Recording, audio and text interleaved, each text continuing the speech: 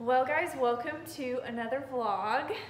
This time I have my cousin Whitney, and we have just been hanging out, um, talking, and she has known about my struggles for a while, and so we just wanted to do a vlog for you guys what to expect when you're not expecting. because we have that in common. Yes, definitely. Um, so whenever we, whenever me and Cody were trying to get pregnant, no one had told us what to expect. We thought when we got off birth control that we would just be pregnant right away, and we were actually just kind of every month. That's what we were like. Oh, are you pregnant yet? Are you pregnant yet? It was crazy. So when we were trying to get pregnant, it had been several years, and I didn't really realize. But when my brother and sister-in-law told us that she was pregnant, um, we were at a family gathering, and I just remember holding Skylar's leg, like, "Oh my gosh, I can't believe it!" You know, because we had been trying. At that point, I didn't even realize it had been two, two, two years, I think. And so um, finally, after that, I decided to go to the doctor because everybody in my family is very fertile. And so I thought it would be really easy to get pregnant, and nobody told me what to do if I wasn't able to get pregnant easily. Um, and so I really didn't have any idea what to do. And so I finally just decided to go to the doctor, and um, we went from there after we went to the doctor. But I do remember not feeling like I had anybody to talk to about it, you know um, negative pregnancy test after negative pregnancy test after negative pregnancy test. I didn't I didn't feel like I had anybody that I could say like I'm really struggling with this. What do I do? Yeah. So I felt like I did have a couple of friends who I could talk to about it that were struggling with me, and so that was really important. Um, I feel like though Cody probably didn't have that um, as much. yeah, I think it's super important to find a community that of people that are going through the same thing as you Or have been. yeah yeah who have been there because i mean obviously i have my babies now but i remember then feeling like i didn't have anyone to talk to outside of my parents. Like in the end i finally started talking to my mom about it because um, i went to the doctor and we found out what was wrong. Um, and just a little bit of my story i had a congenital defect in my womb. So i was just born that way.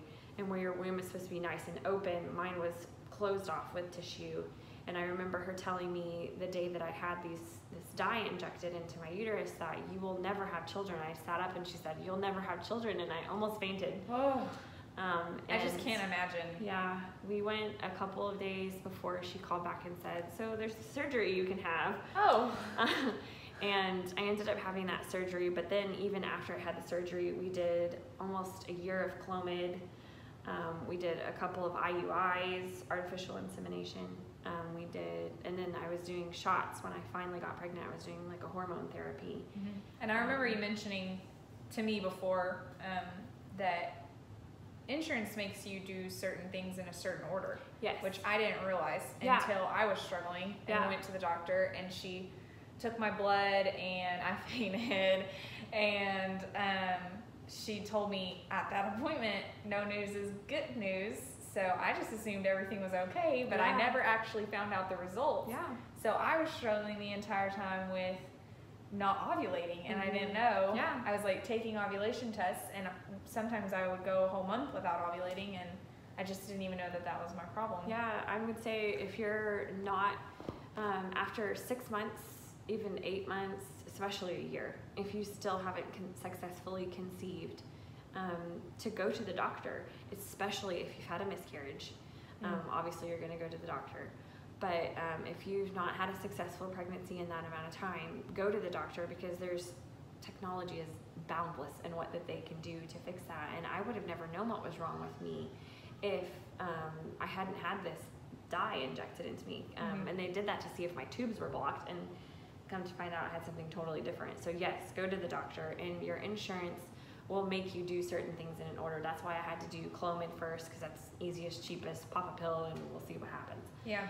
Um, And it might have even been with well, what we were thinking too. Whenever I got tested, and then nothing really showed. Well, we don't know what showed, but we were thinking, well, maybe Cody needs to go to the doctor. Mhm. Um, Yeah, that's a big thing too. A lot of times, sometimes it's not the woman, sometimes it's the man. They can have a low sperm count, they can have um, weak sperm count, you know, different avenues that it could be the male. It totally doesn't have to be the woman. So I remember a lot of months going by where I was just getting negative pregnancy test Mhm. after negative pregnancy test, and how devastating that was every single time. Yeah. Um, and how it's just like a knife to the heart, and a piece of you just dies a little inside every time you get that negative that. pregnancy test. So I would say it's definitely important to have. You don't have to have a community of people. You don't have to post it on Facebook. I actually wouldn't encourage that. Um, I don't encourage you tell a bunch of people that you're trying. I say you have one or two, maybe a family member, maybe a close friend that you talk to about it, so that Yeah. you can say maybe just, "I'm not pregnant this time," and that's all you might have to say. But yeah. But that's enough. Yes, don't make it a huge production every time because that's just harder on your heart than it needs to be. Yeah. Um, you just keep that between your spouse and a few close people, but don't, you know, because people are going to ask you, they're going to say, like, oh, are you pregnant? You know, what did the test? Mhm. happen?" You know, I wouldn't tell people you're trying necessarily because, yeah. and not It's because, more painful. yeah, that's why it's, it's more Yeah. painful. Um, and I'm not saying even after you get that positive pregnancy test that you shouldn't tell people. That's not what I'm saying either. I'm just saying while you're trying, I wouldn't just tell the world Yeah.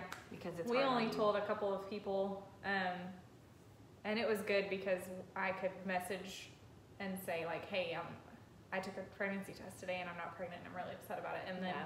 they would just encourage me to, you know, trust in the Lord and Mhm. um, just take it slow. Yeah, you need your community, even if um, you're just searching social media for. Mhm. There's all kinds of things. Pinterest even has encouragement about infertility. Yeah. There's communities out there that you can talk to that can help you um, feel encouraged, or maybe give you ideas of things you haven't thought about, or Mhm.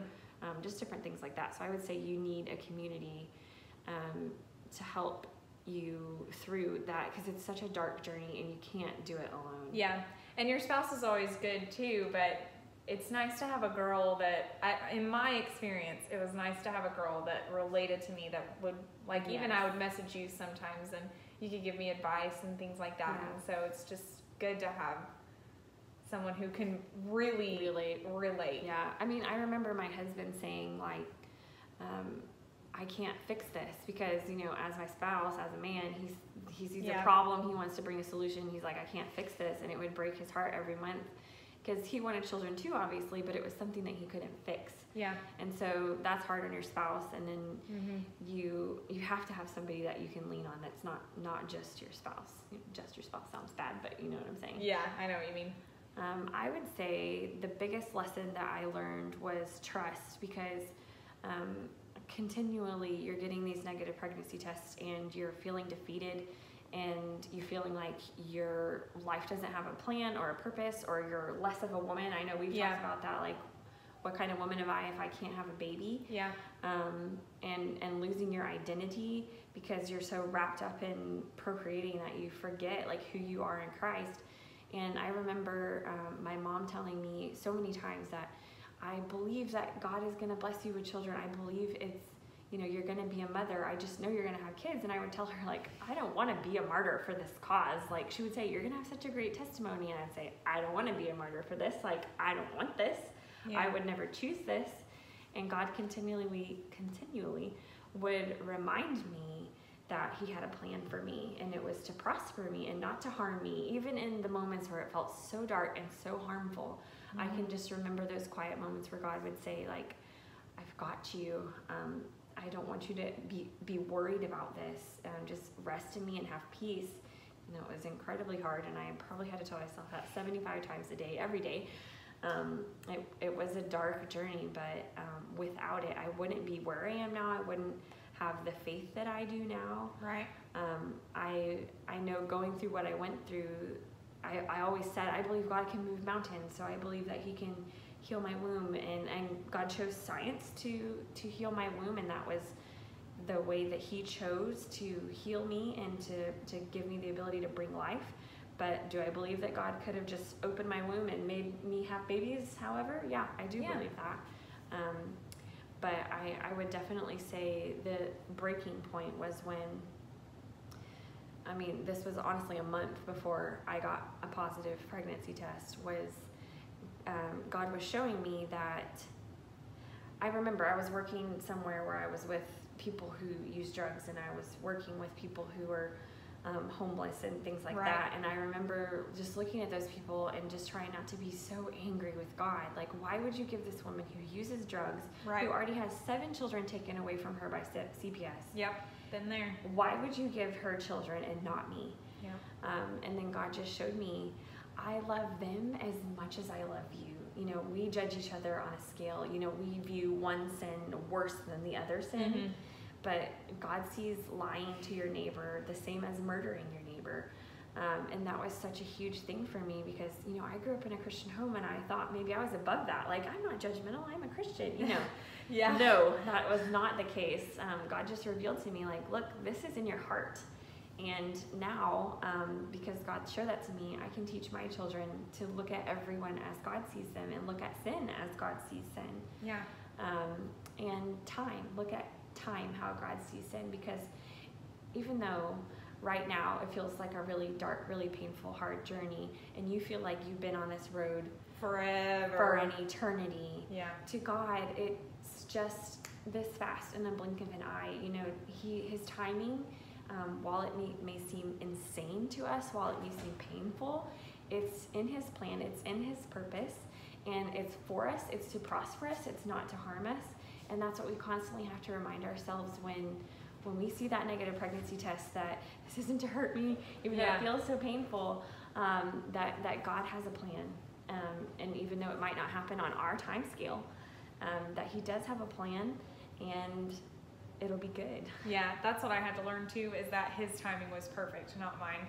And I, I would remind myself that every month, but at the same time, it was a hard, hard lesson to learn. And I think that that's when I really, truly, when Cody and I just let go and we were like, you know what, let's just not worry about this anymore. We're just gonna t- slow down, take it easy. And that's when we got pregnant. Mhm. So it's like exactly, I don't know what the Lord, if that was what the Lord was trying to teach us Yeah. or what. I mean, we can't know the mind of God and we don't we don't know how things happen the way they do. Um, Yeah. But it definitely helps if you can just relax, take a step back and try to excuse me, try to have some peace, try to Yeah. maybe take a vacation. You know, Yeah. there are things like that that can help you ease that stress because honestly, stress and anxiety can Yeah. reduce your chances of having a successful um, pregnancy. And so want to try to dial that down, even though it's so incredibly hard. It is. Yeah, yeah. So when Skylar and I were in our last um, cycle of IUI, Clomid, we tried it all. She said, if this doesn't work, the thing that ended up working, if this doesn't work, then your next step is IVF. And I remember thinking, I would so much rather spend twenty to fifty thousand dollars on a for sure child, Yeah. i.e., adoption, um, than a risk, a chance on a child. You Right. know, I would rather spend that money on a for sure thing. So Because you can go through all that IVF and still Yes. not. Not have have, a successful pregnancy, absolutely. And like that would just totally rock my world if I had Mhm. spent seven years trying to have a child and then that failed. And those strong people do it all the time. But Yeah. still, just for me personally, I would have rather said, let me take one of the 30,000 children in foster care in Yeah. Texas and give them a home and I'll be their mother, you know. Yeah. And that may be what God has in store for you. Mm-hmm. Um, it might. I know one day me and Cody want to adopt, but Yeah. when we were struggling right at the end, that's what we were gonna do. Like Yeah. we we were trying to decide if we wanted to go for further testing or if we just wanted to take a break or and we were kind of just thinking, well, let's just adopt. Yeah, absolutely. And I'm sure adoption is a path you and I both are going to be walking down someday in our Yeah. life. it's not without outside the realm of possibility for us either. It's something we're already talking about. Yeah. Um, and that's such a beautiful picture of the gospel adoption is. And Yeah. so um, that's really exciting to me. And I would say if you're struggling with infertility, maybe just be praying about that, thinking Yeah. about that, because that's absolutely another opportunity that God could be presenting to you to become a mother Yeah. um, is through adoption. And I can't think of a better way, you know, Yeah. to have a for sure child. Definitely. and you can pick whether it's a boy or a girl. And the way that the that they would change your life and you would change their lives forever. Like Yeah. that's just so powerful and Absolutely. so awesome that you even have that opportunity. And Mhm. so I know one day Cody and I will adopt, maybe sooner than later, who Mhm. knows? But um, just the blessing that adoption is, I think, is sometimes taken for granted. Yeah. And I can remember people saying to me while I was trying to have my own biological children was like, why don't you just adopt? And how offensive that can feel Yeah. in the moment. Um, but I would just say, you know, if you're going through that, try to have a soft heart about it um, Mhm. because there are children that need good homes, and it's important that we remember that. You know Yeah. that that there's there's not there's more than one way to skin a cat, and more than one way to have a child.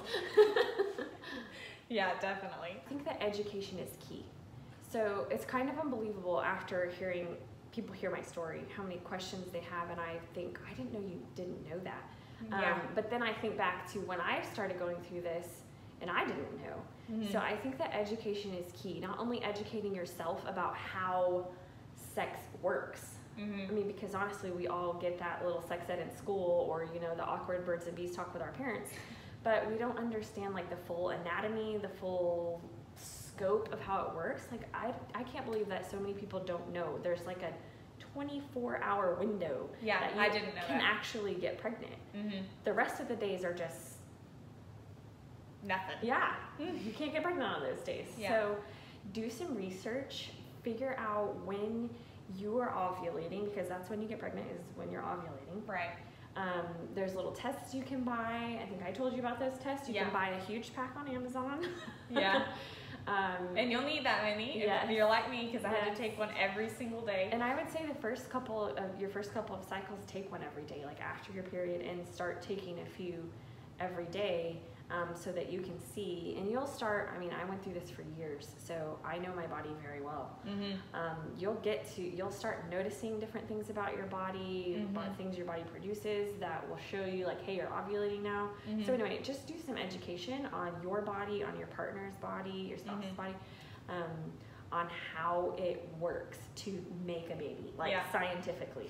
Because I truly believe that education is the biggest key. So it's really important that you um, figure out your cycle, figure out figure out when you're ovulating, so that you're not just mindlessly having sex every day. Although that might be fine for some people. Have at it, but um, it's not not, necessary. no. it's not necessary, is what I'm trying to say. Um, so that's the first thing I tell people: get educated. Um, get educated on the process of like what it's like to be pregnant, what it's like to give birth.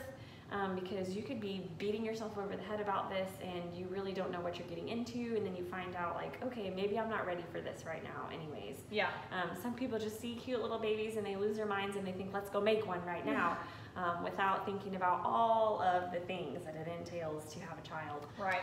Um, so that's another important factor. I would also say go to the doctor Mhm. if you're having trouble. Um, even go to the doctor if you need some education. That's another good point. Yeah. Um, and then two, just to um, trust the Lord because our timing and His are very different. We work on very different time scales. And I used to get so irked when people would say, God's timing is perfect. And I'm like, well, I don't know what that means for me. Yeah. But um, God's timing is right for us. Mhm. Um, we may feel like it's super painful at the time, and we may get angry, and we may choose bitterness over getting better. Um, but God's timing is what's right for you because He sees the future. and We can't see the future. Yeah. So um, He sees your future, and He knows what's ahead and what's in store, and we don't. And so it's really important that you trust His timing. Um, we can't live in any area of our life. We can't live a closed fist life and saying, "I'm going to control these things, and you can have this." No, we have to give it all to God. Even that, even Mhm. um, when you become a mother, you will give the lives of your children over to Him and, and Yeah. trust Him with those. I, I lose sleep a lot because I'm worried about my kids. I'm worried about SIDS now, and I'm worried about all these things that I never Yeah. would have worried about if I wasn't a mom. But in the same way, when I learned to trust Him without a child, I have had to learn to trust Him when I do have a child. Mhm. Um, so you have to trust the, t- the process. You have to trust his timing um, because he does promise us in the Bible that it's to prosper us and not to harm us, even when it does feel really harmful and really painful. Um, his his plan is prosperity. Yeah. Um, and another point I wanted to bring up that if in the end God says no,